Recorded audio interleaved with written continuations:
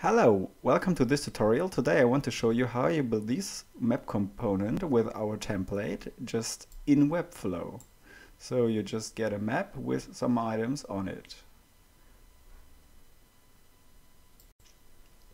So what I do is I open up a new project in Webflow and I just copied this content from the template. So if you have your own project open or you just start with a new project, make sure that you copy the NCF map container and the item container from the template. What I've done here is I just copy all entries of the template. At the beginning, I want to start with the custom code embed in the header code section. So what I do is I just go to project settings and I open this here and then you have to go to the tab custom code. There you have the head code section where you have to uh, import the necessary script for our extension. I've got them here, you can find them on the website in the link we sent you. So you just have to copy these lines of code and paste it in here. That's all you have to do here. Then you just save the changes and you're ready to go.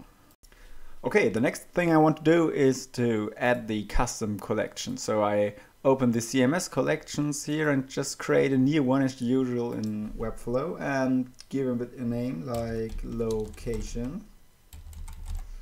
And then I wanted to add some uh, fields I need a field for the latitude and longitude so I just gave them any name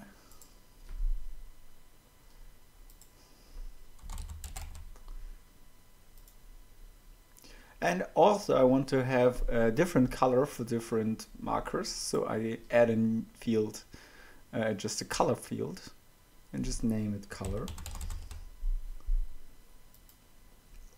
Yeah, and then I just make these required so that we don't have locations without latitude and longitude.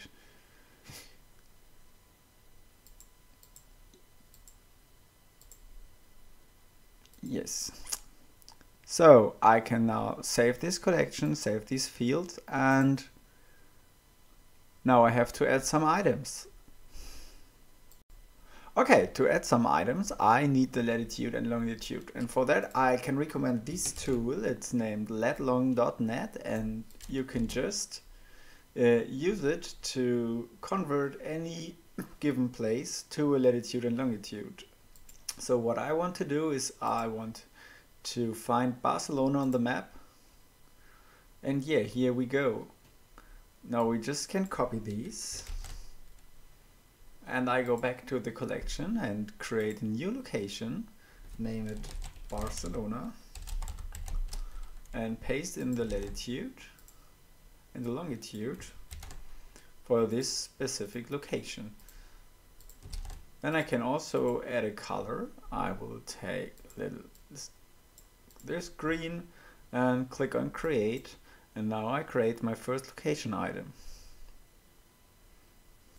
So what I've done now is I just imported some more cities so that we have some examples at the end. Okay, after we created the CMS collection, we now have to map it to this collection list. So I just double click here and set source location. And now we are able to use our pre-built item um, template and place it inside of the collection list because now it is mapped and you can copy content to it. So just drag and drop the item inside of the inner item wrapper and you're ready to go. The next step gets much easier if you select these items and just set it to um, grow size. So now you have it a little bit bigger here. Um, I want first to map these inner text to the name of the location. And then I want to edit the HTML embed. Inside of the HTML embed, you find this div container with some data attributes. What you have to do now is to uh, modify um, all these attributes by replacing these caps text with the, the Webflow content field. So you just um, click on these twice so it is marked and then you just can replace the caps text with the data field.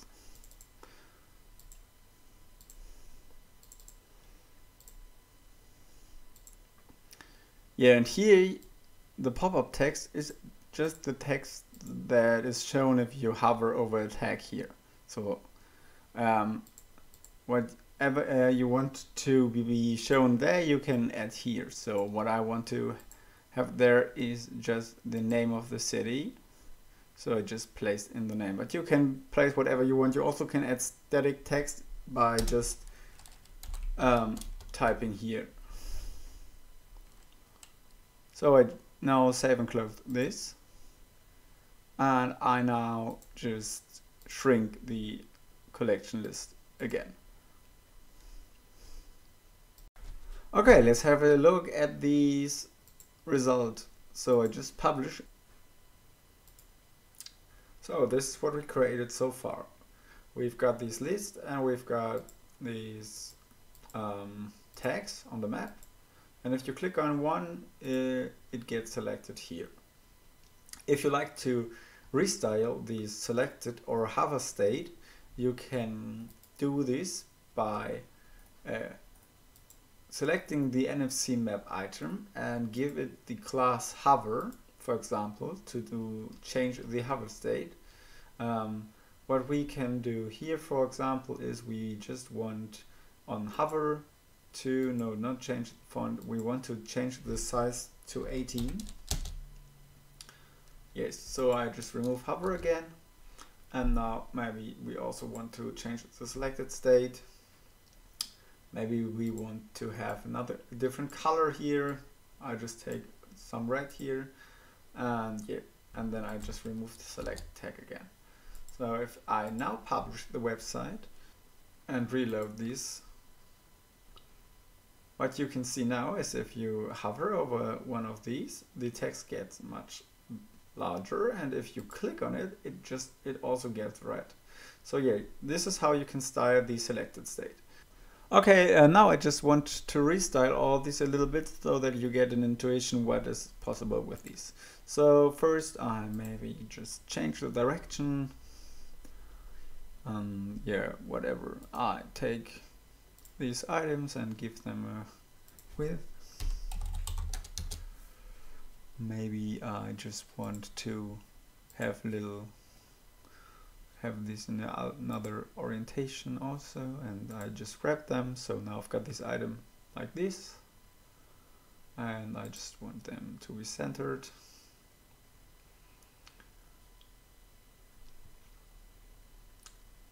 And I just change whatever I like. Yeah, now I also want these little items to um, also be flex boxes and I want to center the titles and then I um, give them a background color.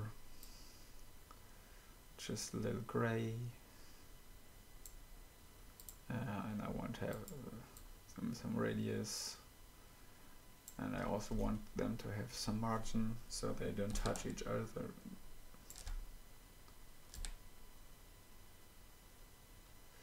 Whatever you want uh, or you now want to have the hover state to be also different background color? And say if you hover you just want them to be red. I don't know whatever you like. Uh, yeah let's publish this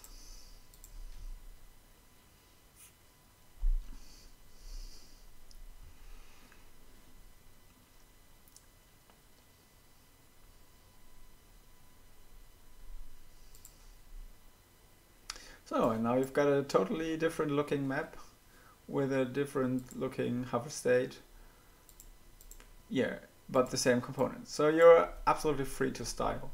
Just be careful with the class names and then um, nothing can happen.